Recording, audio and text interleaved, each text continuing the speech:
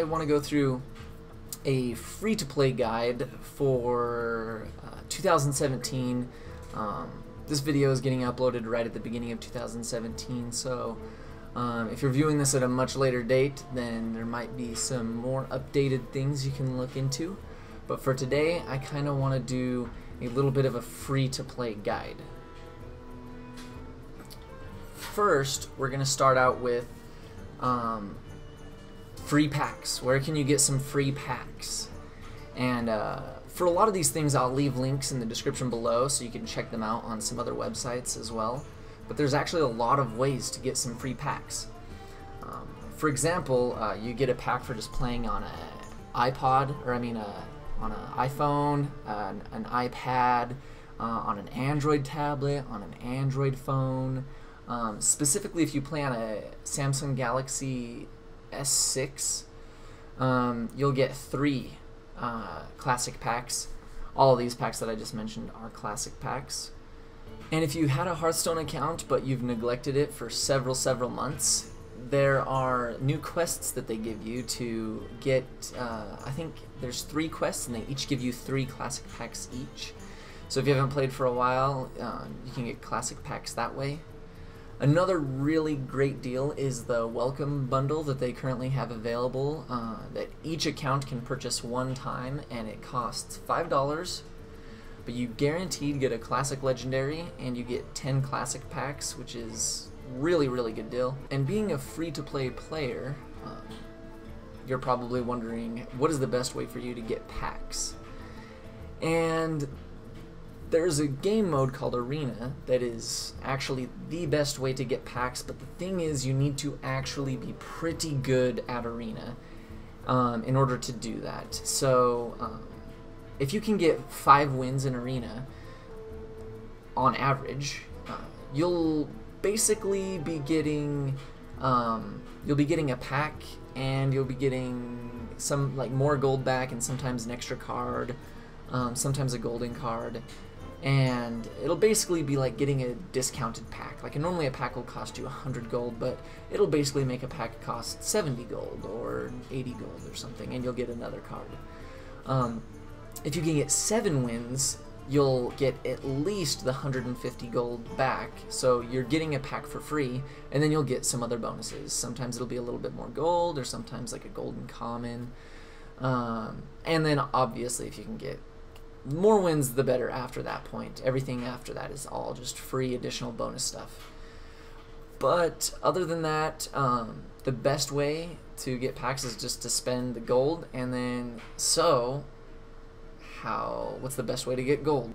Every day that you uh, log into Hearthstone, you will get a new quest and the quests range from 40 gold all the way up to 80 gold. I think there might actually be 100 gold quests now that require like playing uh, 75 Murlocs or something crazy. Um, and every day you can re-roll one quest. And so, uh, just to show, we've got this setup here, and um, you can see, like you can't see it here, but normally there'll be a little X right there, and once per day, um, on one of your quests, you can hit that little X, and it'll re-roll it into uh, a new quest. And usually what I try to do is I try to never complete the 40 gold quests because they're just the lowest quest. And usually you can at least get a 50 gold quest. And uh, what I'll try to do is, so say, see today I re-rolled a quest and I got the 60 gold quest, so today I'm going to complete this 60 gold quest so that I have room for a new quest tomorrow and uh, maybe it'll be a higher quest, or if I try to re-roll it and it's only a 40 gold quest, then I'll complete one of these 50 gold quests. Uh, the best quest you can get, in my opinion, is the Challenge a Friend quest. So with the Challenge a Friend quest, you just need to have a friend, um, add them, and then that'll have a little button, and you can challenge them to a to a standard or a wild or a tavern brawl. Um, usually I just do a standard game and uh, when you do that, it'll pop up for them, and all you have to do is just play the game all the way through until one of you dies or almost dies, and both of you will get the 80 gold. So it's kind of like a 160 gold quest because you get 80 and your friend gets 80. It's a really good quest. So I'm really always trying to do that whenever I'm uh, re-rolling my quests, trying to just get that 80 gold quest. Another really good one is the spectator quest, where once again, all you have to do is just have a friend and just spectate their game, and if they win the game, you get a pack. And if they don't, then you just keep spectating till they win a game, and you'll get a free classic pack. So that's a really great way too. Um, uh, another way to get free packs is every week um, from Wednesday to Sunday you can come into the Tavern Brawl and uh, I've already gotten my win today or my win this week and normally this chest will be closed and you can just um, if you win one game in Tavern Brawl that week you'll get a free classic pack as well so every week um, you can get a free classic pack from Tavern Brawl every day you'll get a quest that you log in, and every day you can re-roll a quest. So make sure you're doing that every day, and that will be the most efficient way to be a free-to-play player. Another thing uh, for free-to-play players that is sometimes a struggle is the adventures. So um, usually the adventures, uh, they all cost money, um, to get them, or you can pay 700 gold for each um, each wing. So uh, I've already unlocked all of these, but I unlocked this whole expansion just using gold because I had I saved up the gold and, uh, and I had enough. So each week they came out, I spent 700 gold and I got it. And uh, if you're curious as to um, which expansions or, or which adventures um, are the ones that you should invest in. You can always look up a guide uh, online and see which ones are the most current ones and see if some of them are going to be rotating out of standard soon. For example, Blackrock Mountain and League of Explorers is going to be rotating out within the next few months. Naxxramas has already been rotated out. Karazhan is the newest one, so it will be sticking around for quite some time. So if you're looking for an adventure to invest in, you can maybe do the Karazhan one. And uh, another thing that you might want to look into is, do you want the whole expansion or do you only want a couple wings? You can just look up online and see which cards come with each wing. And uh, unfortunately, you can't just buy the highest wing, like wing 5 or 4, without getting the previous wings. So sometimes if, there, if there's a card in wing 4 or wing 5 that you really need, you probably just have to get all the wings before it. Um, but right now, uh, the wing that has Reno in it in League of Explorers is a really uh, high demand wing because there's so many cool Reno cards available uh, since the Mean Streets of Gadgetzan. But it's going to be rotating out in uh, about three or four months, so that's up to you if it's worth it as a free-to-play player. So now I want to talk a little bit about crafting. So as a free-to-play player, um, sometimes crafting cards can be a really tough decision because you're not trying to spend money on packs and uh, what can be really unfortunate is crafting a card and then opening it up in a pack later because essentially when you craft cards they cost a lot more to make them than it does to disenchant them so for example this jade idol it would cost a hundred for me to make but I would only get 20 for disenchanting it. So if I made it and then I opened up one, then I and I've already got it now, and so now I just am gonna dust it because I already have two jade idols, and I'm only gonna get 20 dust, and I spent 100 dust to make the other one, so it's like minus 80 dust for nothing. So um, I know this is for free to play players, but um, maybe just a side little note if you're just somebody who you maybe want to only spend a little bit of money on Hearthstone. I would highly recommend uh, just like when a set comes out, just buy 50 packs, or you know, at least before you start crafting cards, open up, use your gold or whatever it is, and just open up, you know, close to 50 packs if you can, or 40 packs, um, anywhere in that range, so that you can at least get most of the common cards because you don't want to have to craft any common cards and then just you get a bunch of common cards over time and then you just wasted that crafting um, and, and then rare cards as well you really want to save your uh, dust. Another thing to note about crafting is uh, every so often, uh, Blizzard will release a patch where they nerf some cards. And if they are cards that you have, you can disenchant them during that time for their full crafting cost.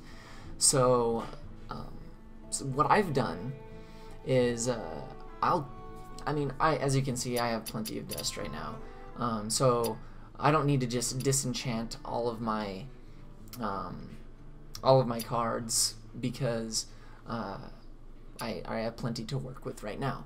So what I do is uh, I save uh, copies of cards that I have just opened up, and I don't disenchant them just in case uh, I might be suspicious that they could get nerfed in the future.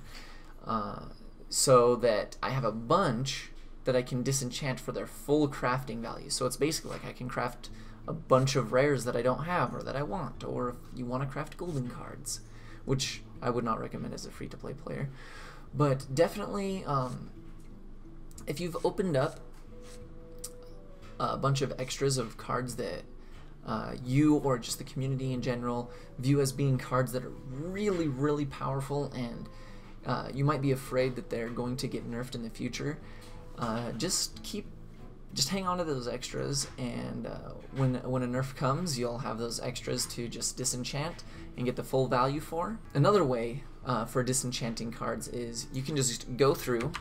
We'll type in common here, and you can go through all of your commons and and, and find the cards that uh, you just know are are no good that you have tons of extras of and then you can go over to them um, and you can disenchant them and just just disenchant those. So we'll go in here and you can disenchant. Um, you know you know they're not super powerful and you know you're not gonna need you're never gonna need more than two so you can just disenchant a bunch of those. So golden cards. Being a free-to-play player you're really just never going to want golden cards. Golden cards are basically going to be your extra free money uh, for get, making any cards that you want. Uh, if you already have two copies of that card in general, then you can just disenchant your golden ones because you're a free to play player and you don't care about playing golden cards. So just disenchant those. Especially if you think that card is never going to see play, definitely disenchant that gold card. And like I said before, if you have some golden cards that they're extra, you know. You already have two copies of the of the normal one, and you've got the golden version as well. But you're suspicious that it could get nerfed in the future. Just hold on to that card, and you will get tons of value for it because um, the golden cards cost so much more to craft, and since you'll be getting the full crafting value if they get nerfed, so good in the description below, I'll uh, try to find a potential crafting guide for you guys to look at. Um, as far as, you know, crafting some common cards, rares, epics, legendaries, what are the ones that are um, the most, uh, will give the most value in the long term uh, for crafting. Um, but for this video, I'll just give you some of my, off the top of my head, opinions of some good cards to craft depending on the type of decks that you want to play. If you want to play a druid deck and you already have some nourishes, you have some of the cards needed for uh, some of the combo druid stuff, and you don't have a Fandral, that would definitely be uh, one of the legendaries I would craft. Plus, he came out in Whispers of the Old Gods, so it's going to be around for a while, and Fandral's uh, getting both the choose one effects is so strong. As far as playing any hunter deck, none of the hunter legendaries are really just so insane that you have to have them in your deck. So you really don't have to worry about any of these. But if you were going to craft one, I would maybe do uh, Knuckles because he gets that Smork in while he gets that trade in too, and it's just pretty good. For mage legendaries, Antonidas is the one to craft. First of all, he's in the classic set, so he will be around forever. Also, if Antonidas was ever to get nerfed, you would get that 1600 dust right back. For Paladin legendaries, Tirion is just so good. He's also from the classic set, so he will be around forever. But make sure before you're crafting any of these legendaries that you at least spend five dollars on that welcome bundle, because getting Tirion from that welcome bundle, like I did, is just really good. I mean, I already have three, but I'm keeping him around because if he gets nerfed, what if he what if, what if he gets nerfed? Ragnaros Lightlord is really a good card too. Um, if you're considering crafting, he's also from Whispers of the Old Gods, so he'll be around for a while. Priest legendaries, none of these are really crucial for uh, any specific priest deck except for the Reno priest. Like Raza is pretty good, but you don't need it. And also with Reno potentially cycling out soon, I don't know if you'll be playing a Reno Highlander style deck really in priest. Next we have Rogue. Edwin is from the classic set and he is really good. Rogues combo out so hard in many of their archetypes and they can just make a really big Edwin and so if, if Rogue is just your deck, you or you want to play Miracle Rogue or Aggro Rogue or whatever, Edwin is definitely a really good craftable card. The rest really really not worth it. Shaman cards, none of these cards really need to be crafted. There's, in fact, Aggro Shaman is like tier 1 right now, and it only costs like 3,600 dust to make it, and you already probably have some of the cards. And uh, you don't need any of these cards. Um, if you really, really were just stuck on like a mid-range shaman deck, uh, you could craft Alakira, I suppose, but you really don't need to. You really don't need to. For Warlock legendaries, kind of in the same spot. There's not really any here that you need to craft. Uh, Jaraxxus is pretty good if you're trying to play a handlock, Reno lock style deck. He's pretty cool. Um, but Thaurissan is going to be cycling out of standard pretty soon, and uh, Thaurissan is really what makes Jaraxxus really good because you can play Thaurissan while you have Jaraxxus in your hand, and it puts Jaraxxus down to only 8 mana, and then uh, then you can play Jaraxxus, and then you can use your hero power, which is really the reason you're turning into Jaraxxus. But once again, you really don't need to craft any of these to have a good Warlock deck. You can always play a Zoo Warlock deck. For Warrior Legendaries, if you were going to craft any of them, it would probably be Grommash Hellscream. Also from the classic set, he's going to be around forever, and he's just a really good card. Lots of ways to combo to get that Enrage off and just finish your opponent off. Uh, Malkorok is another good choice. He uh, he is a pretty good value minion, and he's also from Whispers of the Old Gods, so he'll be around for a while. Now, into the neutral legendaries, there's going to be quite a few really good ones, a lot of them from the classic set, and then some of them are going to be from adventures that you just have to, um, you know, maybe you're going to buy the wings of those adventures to get those, maybe not, maybe it doesn't, it's not needed as much, there's some alternative cards that you can put into the deck instead of those cards. So let's get started. Basically, if you're trying to play any type of aggro deck right now, Patches is so insane. There's a like Pirate Warrior, uh, Pirate Shaman, Pirate Rogue. They all get insane value off of Patches. Um, so you could craft Patches. Sir Finley Mrrgglton comes from League of Explorers adventure. Uh, he's also used in some of those aggro decks to try to change your hero power into the hunter hero power, but one this one is not necessary to do well. Blood Mage Thalnos is a really versatile card. It finds itself in a lot of decks because it gives you the spell damage. You can combo and freeze mage with it, and it's also a card that your opponent just wants to kill, but it has uh, a draw a card effect when it dies, so it kind of sucks for them to kill it. So sometimes they leave it on the board and then you get that spell damage for another turn. It's a pretty good value card. Brann Bronzebeard is pretty insane right now. There's a lot of really good battle cries in the game, and getting to trigger your battle cries twice in a combo is so good. But Brann Bronzebeard is from the League of Explorers and will also be rotating out uh, pretty soon. But you could just buy those wings if you wanted to. And I kind of would recommend that you do because once the adventures cycle out, the only way you can get those legendaries is to craft them after that. And you might just want Brann Bronzebeard around for um, for the wild format. Barnes is a really good card, and he's from the One Night in Karazhan. He has been known to pull a copy of Ragnaros out of the deck, some strong Death Rattle minions out of the deck, and it's just a good value minion, and it comes with the adventure. It's pretty good. Kazakus. He's another Reno style type card. Reno will be rotating out soon, and I've said that too many times. But Kazakus, his effect is so cool, so fun. The spells are so cool, and the interactions are so fun, and they will be fun for the rest of Hearthstone, in my opinion. Harrison Jones. This card has been known to come in and out of the meta.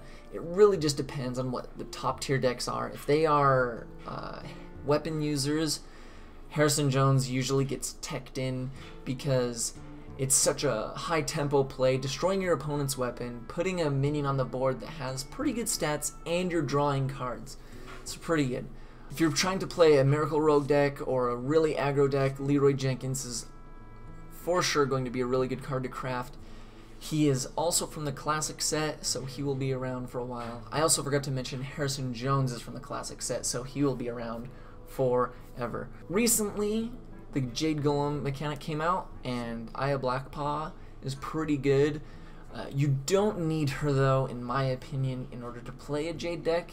In fact, I have played quite a few Jade Druid decks that don't even play Aya because she's such a heavy card, and you just have better ways of comboing out and getting the Jade Golems out than having to spend 6 mana on a pretty slow minion. Uh, like I said before, Emperor Thaurissan is cycling out soon, but he's really good, and you might want to pick up that adventure just so you don't craft him, don't have to craft him and uh, and uh, play him in the wild format because he's a really cool card. Some more cards. Here's the Reno Jackson. Like I said, he's cycling out soon. He's in League of Explorers, pretty good. Sylvanas is a pretty versatile card and often finds uh, a slot in a lot of decks, usually control decks, and it's just it's just a good card. Just plain out, it's a good card. Sometimes you just force your opponent to have to trade in two of their like pretty big minions just to make it so that you don't steal one of their cards, and it's, it's a really good effect. Justicar Trueheart is a pretty good card, but will be cycling out pretty soon. But really cool effect. Um, pretty cool. Uh, could just see playing wild if that's your style. Ragnaros the Fire Lord, another classic card, another just really good card. Sees a lot of play, a lot of play. Uh, I don't I don't think this card is really ever going to get nerfed. Uh, it's it's kind of fair, but it's kind of just really good. It's one of those cards where you you play in the right circumstance, and if your opponent can't remove it that next turn, they're to lose the game. Uh, just a really good card. Highly recommend uh, crafting this card if you're planning on playing just about any deck. Ragnaros is really cool. Getting closer to the end here, we have Alexstrasza, really good for um, playing Freeze Mage, um, some other type of decks that are just trying to burst your opponent down. Playing this on turn 9, setting your opponent's health to 15, bursting him down on turn 10, uh, turn 10 with spells. Um, and it's classic set, going to stick around forever. Ysera is a great card to craft. Gives you a lot of value, really good for the if you're trying to play a more control deck, a, a late game deck, something that's trying to maybe outvalue your opponent. The dream cards you get from Ysera are really good. N'Zoth the Corruptor. This card came out in Whispers of the Old Gods, so it'll be around for a while. Uh, but its battle cry to summon your Death Rattle minions that died this game is so good. So many people uh, have just said, hey, is your deck bad? Well, just add N'Zoth, and it's all of a sudden it's a good deck. Uh, you can seriously just play Loot Hoarders. Um, you can play Sylvanas if you got a Sylvanas and you know just a few more death rattles and you just play if N'Zoth just resummoned Sylvanas it's it's really great value just there it's basically like you got to summon uh, Sylvanas again and then you only paid 4 mana for a 5-7 it's really good that's it for legendary cards I'm trying to not make this too long but uh, let's move on Alright, really quickly, I'm just going to go through a few various other cards that are at least relatively cheap on Dust to create that you should uh, decently consider crafting. And if you don't have any copies of any of these cards, maybe only craft one because maybe you'll open up a second one in a pack in the future. First off, we've got Mistress of Mixtures. This card is a, like the one drop right now. It's just a really good card. Heals you. Uh, it's a 2-2. It's a common. You know, very cheap to make, and uh, and if you're trying to play a, a really tempo-heavy deck that uh, is trying to get on the board and keep the board, this is a really good card. Southsea Deckhand. This card is basically used in all those pirate decks. It's common. It's from the classic set. Um, consider it. Loot Hoarder. It's a really good card. It's common. It's from the classic set. Draws a card. Acolyte of Pain is another great card to consider crafting. Probably the number one card to craft because it is a common. You can basically put it in any of your decks as a free to play player, and you're going to get some good value out of it. Bog Creeper is a great uh, common card. Uh, once again, if you're trying to play more a late game card, just a common, simple 40 dust to craft if you want one of them. But he is in Whispers of the Old Gods, so he will eventually cycle out. But it's a good card. North Sea Kraken is really good for free to play players. He has a good battle cry. He, he's a big minion, and he's a common. Also from uh, Grand Tournament, though. So we'll be cycling out relatively soon. The Jade Idol from uh, Mean Streets of Gadgetzan is a really great card. It's a rare, and uh, if you're playing a Jade Druid deck, you're going to need these cards. At least one. And uh, maybe preferably only one. So maybe just open up a few packs of uh, Mean Streets of Gadgetzan and just get one of these and you don't even have to craft it. Nourish from the classic set and just basically in every Druid deck. Uh, would highly consider crafting this card if Druid is your class. Eaglehorn Bow is a really good card, also from the classic set. Uh, almost every hunter deck plays two of this card, so consider it. Dispatch Kodo is from Mean Streets of Gadgetzan, and it is a, it's a really good card. Um, whether you're getting uh, the hand buffs on it or not, um, it's just a good card. You can also play it next to like a Direwolf Alpha, or if you have a Leokk on the field, it will increase this his attack, and whatever you target will deal that extra damage as well. Savannah Highmane is from the classic set, and is there's almost always at least one of these in every hunter deck. Really good card. Blizzard is a good card, but uh, it's more for the late game mages, uh, especially Freeze Mage. It's only rare, and it's from the classic set. Equality, also from the classic set for Paladin. It is a rare, and it is so often in uh, in a lot of like mid-range to to late game control Paladin decks because they can combo this with Wild Pyromancer to just kill the entire board, or you can combo this with Consecration to just kill all of your opponent's minions. Aldor Peacekeeper is a really good card, also the classic set. It's in a lot of uh, more of the control and mid-range uh, Paladin decks. Really good card. From the Mean Streets of Gadgetzan, we've got the Grime Street Enforcer. Really good card. Uh, you might consider uh, crafting one of these, and or maybe just opening a few packs. I also want to mention the Grime Street Outfitter here real quick. Also from Mean Streets of Gadgetzan, really good card. Basically, you can put this in like so many Paladin decks right now, and it's really good, and it's just a common. Grime Street Protector, really good too. Um, also found in Mean Streets of Gadgetzan. Auchenai Soulpriest has found its place in a lot of priest decks, uh, especially because of a lot of the ways you can combo with it. Also, your hero power just becomes a deal 2 damage hero power, which is really good. And it's also from the classic set. Drakonid Operative. This card is probably one of the best cards in the game right now, and it's in the priest class, and it's from Mean Streets of Gadgetzan. Really, really, really good card for a Dragon Priest deck. Undercity Huckster for rogues. We've got this from Whispers of the Old Gods. This card is a pretty good card. It gives you good value. Uh, it's a death rattle, so if you have N'Zoth, it'll resummon this. Pretty good card. The SI7 agent has found itself in almost every rogue deck because of its uh, combo effect. It's from the classic set. It's a really good card. Now this card depends on the style of deck you want to play, but this is a Shaman card, and this card is a, has really cool interactions. It's from Whispers of the Old Gods, so it'll stick around for a while. Uh, but it's really cool uh, trying to play these evolve style decks that the Shamans can do. So you maybe want to consider it.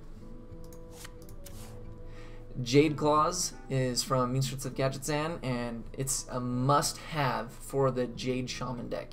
It's a really good card, and weapons are really good. From the classic set, we have Feral Spirit, really good, uh, really good card. It, it might, I mean, this card is gonna stick around for a long time. It's been a, a nuisance to players for a long time, so if you're a Shaman player, you probably need this card. Manatide Totem, also from the classic set, really good card. Lightning Storm as well, really good card, also from the classic set. Thing from Below, from Whispers of the Old Gods. This card is so good, such a really good tempo card for the Shaman. Uh, I mean, I could even imagine this card getting nerfed in the future. It's just found itself in almost every shaman deck because it's just so good. You, so many times you're playing this card for zero mana. It's just crazy. Doomguard from the classic set for Warlock, really good card, found in Zoo decks, uh, mid-range decks, it's really good. Siphon Soul for the Control Warlock decks, it's really good, also from the classic set. For Warriors, we have Frothing Berserker from the classic set as well. Uh, finds itself in any type of mid-range or aggressive warrior deck. It's really good. This card is insane right now. Small Time Buccaneer is like the. Uh, I already said Mistress of Mixtures is the one drop, but this is the one drop for weapon classes. It's literally almost always a 3 2 for one mana. Uh, it's from Mean Streets of Gadgetzan. It's, it's crazy. Knife Juggler is from the classic set and has already been nerfed before, but it still uh, finds some play in more zoo style decks where you're just playing lots of cheap minions and it's throwing those knives out and it's it's doing work still. So you might want to consider it. Here's the wild pyromancer I was mentioning before that combos with equality. Kabal Couriers from Mean Streets of Gadgetzan and you can use it in Priest, Warlock, and Mage. And its Battlecry effect is really good, especially if you have a Brann Bronzebeard, getting it twice, so good. Mind Control tech is found in the classic set and sees play every so often. It's really good. Just a it's just a good card. Questing Adventurer is really good in some rogue decks where they're trying to just combo. Uh, they conceal the questing adventure in the next turn. They just play a million really cheap cards and just have huge questing adventures. Defender of Argus usually finds itself in a zoo style decks, and uh, especially when there's an aggressive meta, being able to put up those two taunts is really good. Also from the classic set. Twilight Drake finds itself in some more control decks uh, that uh, usually have a bunch of cards in hand. It's also a dragon, and it's in the classic set. Azure Drake, as a free-to-play player, this is the card for you to craft. It is so good. You can basically put it in every deck that you're going to play as a free-to-play player, and it will be good. Gadgetzan Auctioneer for basically the combo druid decks and the uh, Miracle Rogue decks. You're just gonna need this card. But maybe just play it safe and just play those tavern brawls and just open up packs every week and and maybe open up some classic packs because this card is really good. Druid of the Claw, really good card. This card is really insane from Mean Streets of Gadgetzan. Freezing Trap from the classic set, also a really good card. Mana Wyrm from the classic set, really good one drop. Uh, potentially just one of the best one drops in the game, and Mage is gonna have it forever. Firelands Portal. You can get this for free. All you you get to play the the prologue of the uh, One Night in Karazhan expansion and just play it, and you'll get Firelands Portal for free. Faceless Summoner is also a really good card. Uh, it's just common from Whispers of the Old Gods. Kabal Talonpriest from Mean Streets of Gadgetzan, really good. Cold Blood and Conceal are both from the classic set, and they're in the rogue class, and they are both used in the same deck. Both common. Really good cards. Eviscerate, also from the classic set, really good card. Swashburglar is from Karazhan, but I, he's just so good. He's a really cool card, too. And also, if you happen to open up patches from Mean Streets of Gadgetzan, you just you want this card. I forgot to mention one of the craziest cards from Karazhan is the Spirit Claws for the Shaman. Oh, man, this card is just it's so good. Your totems can be spell damage. You can you play Azure Drakes, and this is just a three damage weapon. It's crazy. Lightning Bolt is a really good shaman card as well. Tunnel Trog is from League of Explorers, but we'll be cycling out relatively soon, so uh, you know maybe you don't want to waste any time with that. But this card is stupid.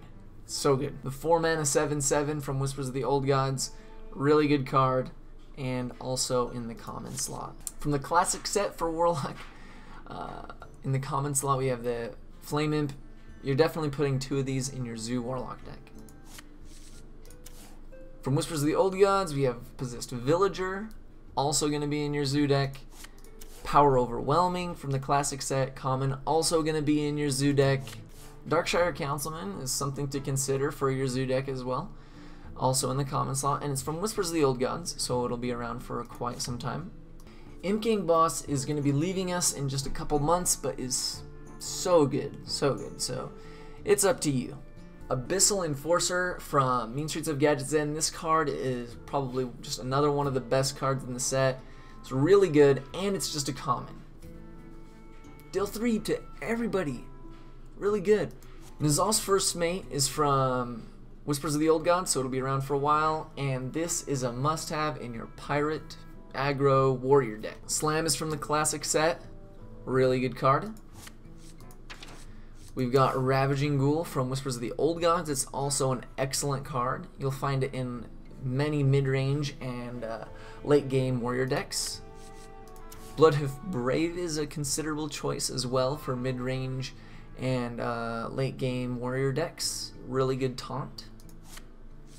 Grimy Gadgeteers from Mean Streets of Gadgetzan, and the hand buffing for plus two plus two is really good value. A card I just personally like a lot is Argent Squire. Uh, it's just kind of an annoying card. It's it, looks weak, but it, the Divine Shield is just really good with it. And when you're playing a tempo deck, you just want to curve out. You want to play something on turn one, especially in Paladin decks that have synergy with Divine Shield. Uh, it's a good card. So that's going to be it for this free-to-play guide. Uh, I hope I presented you with some useful information. Also, don't forget that the arena is such a great place to get essentially free packs, free cards, um, but I would not recommend starting out with this. If you were a really brand new player, uh, just pl play with some friends, uh, play in the casual mode, um, and uh, just get used to the game before you uh, spend too much gold in the arena because it can be really discouraging if you end up paying more than 100 gold for a pack. If you have any questions for me or you have any video suggestions for me, make sure to leave them in the comments below. Uh, don't forget to check out my stream on Twitch every Thursday and Sunday. And uh, thanks for hanging out. Ooh, ooh.